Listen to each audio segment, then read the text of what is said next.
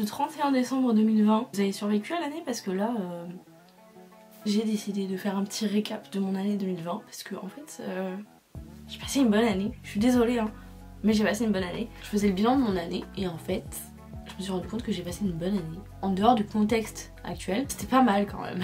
Il y a beaucoup plus de choses positives qui me sont arrivées cette année que de choses négatives et euh, je tenais à faire cette vidéo pour moi-même. C'est un peu une vidéo pour moi, ça peut ne pas intéresser tout le monde mais je m'en fiche, je le fais pour moi avant tout donc euh, voilà. Si vous regardez toute la vidéo, en tout cas j'espère que ça va vous plaire et que ça va vous faire relativiser sur l'année et n'hésitez pas à faire les points positifs et les points négatifs de cette année et les mettre en commentaire si ça vous chante et peut-être que vous verrez que vous aussi en fait vous n'avez pas passé une année si terrible hein. Bref, en tout cas j'arrête de parler et on passe à la vidéo.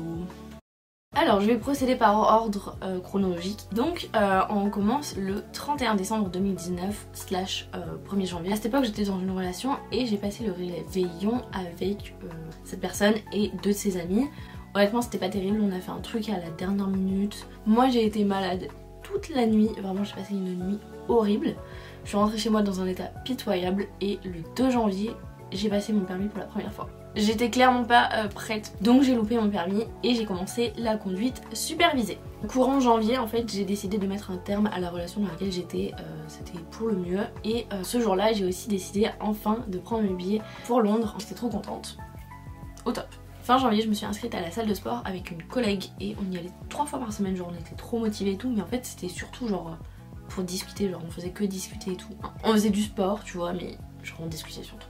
On arrive au 20 février et je m'envole pour l'Alsace où je suis allée euh, chez une amie qui fêtait ses 18 ans. J'avais jamais été en Alsace, euh, du coup ben voilà, j'avais eu quelques galères d'avion, je me souviens mon avion il avait été grave en retard, j'étais arrivée beaucoup plus tard que prévu et tout. J'ai passé 4 jours je crois en Alsace. Donc ça c'était le 20 février. Le 21 février on est parti à Strasbourg, voilà on a fait une petite journée à Strasbourg.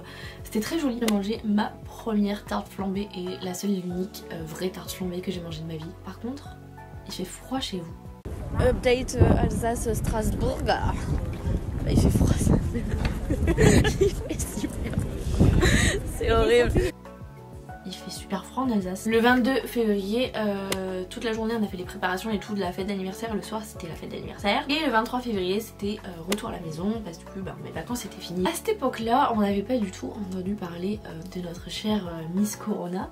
Une semaine après mon retour d'Alsace, on annonce aux informations que les premiers cas de coronavirus ont été décelés en Alsace. Voilà. Une semaine après. Top hein le 5 mars, je repasse mon permis pour la deuxième fois et roulement de tambour s'il vous plaît. Je l'ai eu.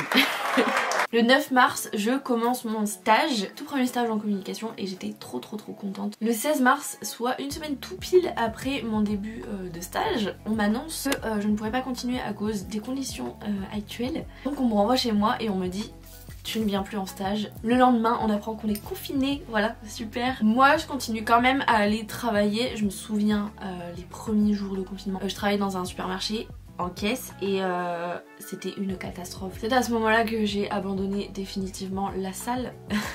pour des raisons évidentes, c'était fermé de toute façon. J'y ai jamais remis un pied d'ailleurs, il faut que je pense à annuler mon abonnement. Le 5 avril, en plein confinement, je décide de commencer les vidéos au pair, voilà, je mettrai dans le petit i, c'est là non? J'ai décidé en fait de faire des petites vidéos au pair parce qu'en fait j'ai l'impression qu'il n'y a que des vidéos négatives sur ce sujet alors que en vrai c'est pas, pas la réalité en fait. Enfin je veux dire oui il y a des expériences négatives mais il y a beaucoup d'expériences positives. Donc euh, voilà, je trouvais que c'était un peu décourageant ce qu'on pouvait trouver sur, euh, sur le sujet sur YouTube. Donc j'ai apporté mon petit grain de sel. Au fil du confinement, euh, je laisse traîner mes billets d'avion pour Londres. J'espérais encore pouvoir y aller, je devais partir le 2 mai. Mais bah, on apprend qu'on va être confiné jusqu'au 11 et mes billets d'avion sont annulés de toute façon donc je j'ai pas pu aller à Londres. Et puis la vie continue tranquillement pour moi, euh, rien de spécial jusqu'au 9 août. Le 9 août, je suis partie pour la première fois plus ou moins à Paris et euh, j'ai revu une de mes amies de Londres avec qui j'étais partie à Glasgow. Voilà, on peut la retrouver dans cette petite vidéo ou là, je sais pas. Donc voilà, j'ai pu la revoir, c'était trop cool et tout. Et euh, visiter un petit peu Paris, puisque j'avais jamais réellement vu Paris. Et la raison de mon départ à Paris, c'est parce que mon host dad et les enfants on fait une petite semaine à Paris. Moi entre deux jours de travail je suis vite allée à Paris pour les voir. Le 24 août j'ai fêté mes 22 ans. Voilà, c'est là où j'ai décidé aussi de commencer à faire des vlogs. J'étais hyper enthousiaste à ce propos là. J'ai un peu, pas laissé tomber, mais pas autant travaillé que j'aurais pu et que j'aurais dû. Je suis quand même lancée et je, ne lâche pas cette affaire, mais je, fais juste un petit peu moins que ce que j'aurais euh, pensé. Le 25 août, avec mon père, on est parti à la dune du Pila. J'ai gravi donc la dune du Pila pour la première fois. J'ai aussi décrété que ce serait sûrement la dernière. Le 31 août, j'ai enfin pu euh, reprendre mon stage, donc j'étais trop trop trop contente. Le 1er octobre, il y a eu la euh, pré-rentrée du campus connecté.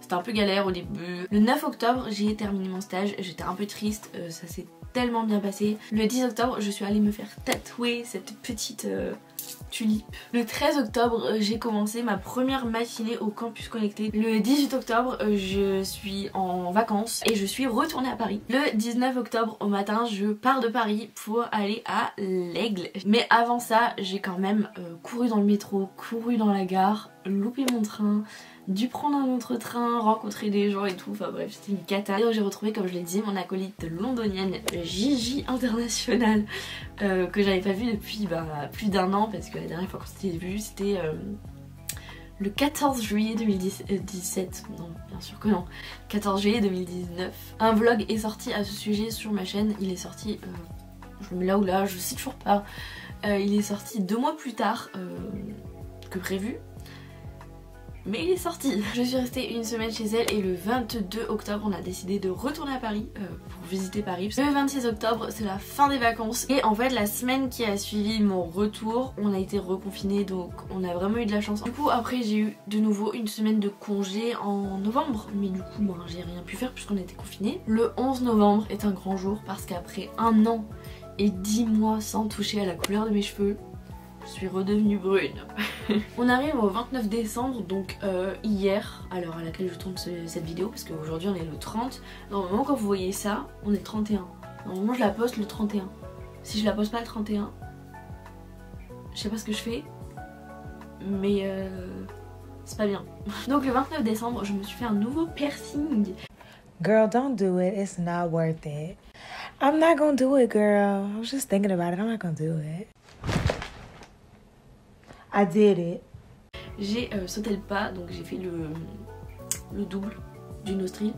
Aujourd'hui donc comme je disais on est le 30 décembre 2020 et euh, demain sera le dernier jour de cette année. Quand on regarde en arrière, j'ai passé une bonne année. Vraiment j'ai passé une bonne année, je pensais pas pouvoir faire tout ça. Certes j'ai pas pu aller à Londres et je sais pas quand est-ce que je pourrais y aller, mais je pense que c'est un peu le point négatif de cette année. Quand j'ai fait le point dans ma tête, bah je me suis rendu compte que non moi j'ai pas passé une mauvaise année et ça me fait un peu culpabiliser parce que il y a beaucoup de gens qui ont passé une mauvaise année. Évidemment il y a des points négatifs, euh, les points négatifs c'est que ben j'ai pas pu aller à Londres et aussi je me suis beaucoup sentie seule. J'ai pu voir des amis mais je me suis quand même sentie seule. Mais ouais, voilà, après, euh, si je devais prendre des résolutions, ce serait de travailler un peu plus mes cours, de me donner un peu plus dans YouTube. Les résolutions, c'est un peu mes objectifs en fait. Euh, mes objectifs du coup ce serait de partir de chez mes parents, de lire un peu plus parce que je suis en train de regarder mes livres, il y en a plein que j'ai pas lu. Bon. Développer un peu plus mes compétences en photographie parce que je me suis un peu testée à l'argentique en 2020. Sauf que c'est pas forcément une réussite. Avoir mon BTS, parce que travailler un peu plus, c'est bien, mais avoir mon BTS, ce serait bien. D'aller à Londres, j'aimerais bien voyager un petit peu plus dans des pays que j'ai pas vu encore. Je me souviens, j'avais un objectif pour 2020, ça serait d'aller à New York, si j'avais su.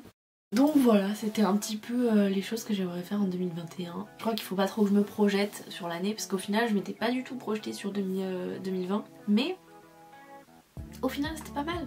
Alors que j'avais rien prévu, genre vraiment tout ce qui s'est passé, j'avais rien prévu à part euh, l'Alsace où c'était prévu que j'y aille. J'ai des ambitions là pour 2021.